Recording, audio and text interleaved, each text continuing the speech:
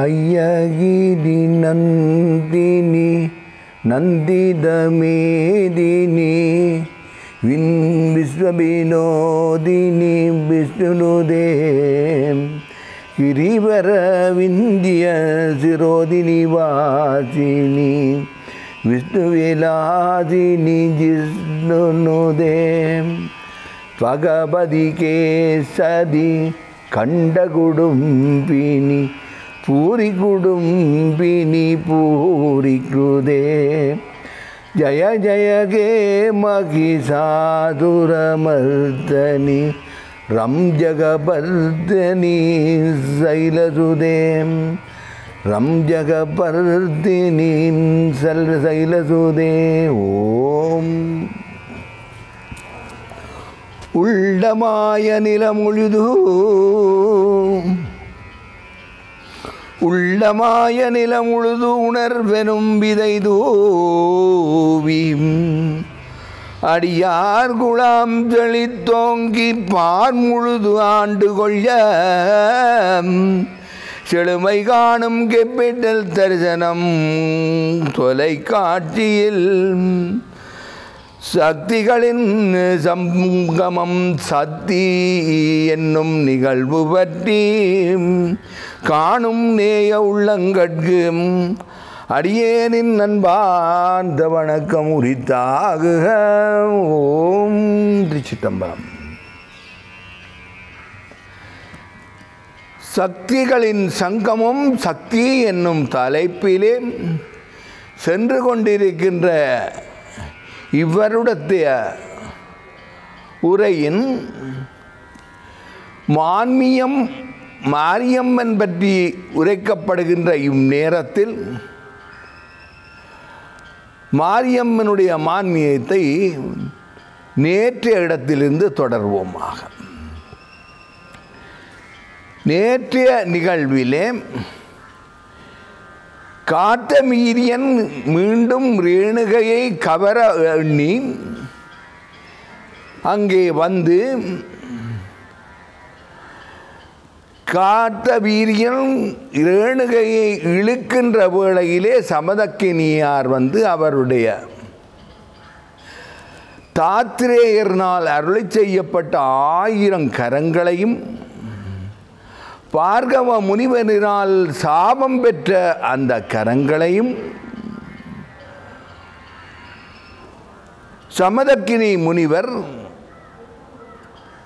தன் பிராட்டியின் வாளினாலே கத்தரிக்கின்றான். கத்தரிக்கப்பெற்ற கார்த்த வீரியன் காட்டின் வழியே தப்பிச் செல்லுகின்ற வேளையிலே அவனுடைய மக்கள் நால்வர் அவனை சந்தித்து சபதம் செய்கின்றார்கள். எங்கள் தந்தைக்கு இந்நிலையை செய்த அந்த சமதக்கினியை இன்றோடு முடிப்போம் என்று சபதம் செய்து வந்து யாரும் இல்லாத வேளையிலே அந்த தபச்சாலையிலே அவரை கொலை செய்து விடுகின்றார்கள்.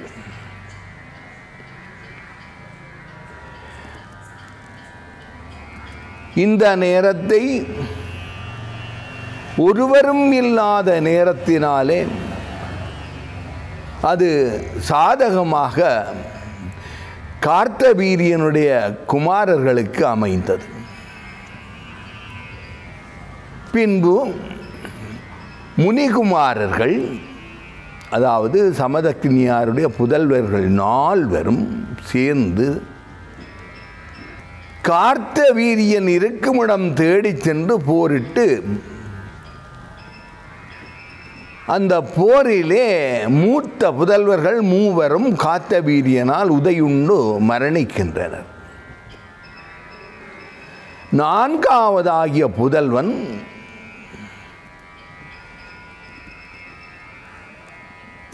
ராமன் கார்த்தவீரியனை அவ்விடத்திலேயே தனது சூலத்திற்கு தந்தையாரினால் பரிசளிக்கப்பெற்ற சூலத்திற்கு இரையாக்குகின்றான்.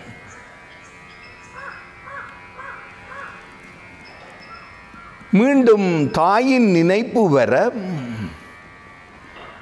தாயிடம் வந்து தாயின் கட்டளைப்படி சமதக்கனியாரின் உடலுக்கு சிதை வைக்கின்றார் சுடுகாடு கொண்டு சென்று. சிதை வைத்த நேரத்திலே அவருக்கு ராமனுக்கு தன் தமையன்மாரனுடைய ஞாபகம் வர அதை எரிந்து கொண்டு இருக்கும்படி அப்படியே விட்டுவிட்டு தமையன்மார்களுடைய நாடி அவர்களுடைய உடலங்கள் நிலையை அறிய ஓடுகின்றான். இந்த நேரத்திலே அல்லல் பட்டு இருக்கின்றவளாகிய ரேணுகை அம்பாள்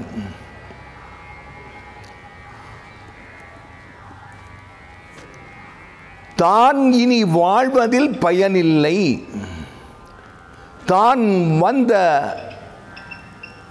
நிலையை மறந்த நிலையிலே இறைவனிடம் இருந்து பெற்று வந்த வரத்தை மறந்த நிலையிலே சென்று ராமனும் இல்லாத வேளையிலே சமதக்கினியாரின் சிறையிலே எரிந்து கொண்டிருக்கின்ற வேளையிலே உடன்கட்டை ஏறிவிடுகின்றான். உடன்கட்டை ஏறிய ரேணுகா தேவி மிகவும் சந்தோஷமான நிலையை அங்கே அக்கினிக்குள்ளே பிரவேசித்த வேளையிலே அனுபவிக்கின்றார். அவருடைய உடல் எரியவில்லை ஆனால் உடை எரிந்து விட்டது. அங்கே குளிர்ந்த ஜலத்திலே இளந்தன்றல் காற்று வீசி வருகின்ற பொழுது மேலில் படுகின்ற மென்மையான குளிரை கண்டு சந்தோஷிக்குமா போல் அக்கினிக்குள் இருந்து சந்தோஷிக்கின்றாள் ரேணுகை இந்திரன் காண்கின்றான். ஏழு முகில்களையும் அழைக்கின்றான்.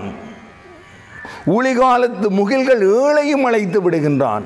உடனடியாக மாறி மழை பெய்து அவளை காப்பாற்று என்று வேண்டி வர்ண பகவானுக்கு கட்டளையிட்டு விடுகின்றான். வர்ண பகவானும் சரியாது மேகங்களை கொட்டி சிதையில் இருந்த தீயை நூர்த்து விடுகின்றான். சிதையிலே எரிந்த பொழுதும் அக்கினியிலே பிரேதேதித்த பொழுதும் சிவன் முன்பு கொடுத்த வரத்தின்படி அவருடைய உடல் எரியாது என்பது அவர் கொடுத்த வரம். அது உண்மையாயிற்று. அங்கே அந்த தீயிலிருந்து உடல் காக்கப்பெற்றது. ஆனால் உடலிலே அங்கங்கே சில சில கொப்பளங்கள் உருவாகின ஏன்? இவருடைய உடல் அதாவது கலந்தம் வேறு தலை வேறு. கலந்தம் என்பது கழுத்துக்கு கீழ்ப்பட்ட உடலத்தை தனித்து விட்டால் அதாவது சிறது கொய்யப்பட்டால் அதை கலந்தம் என்போம். இந்த கலந்தத்திலே இவளுக்கு காயங்கள் ஏற்பட்டது துடுகாயங்கள். தீ நூந்து விட்டது. தன்னுடைய நினைப்பும் மாறினாள் நிலை மாறினாள் தான் பெண் தான் மானிட பெண் என்பதை மறந்தாள்.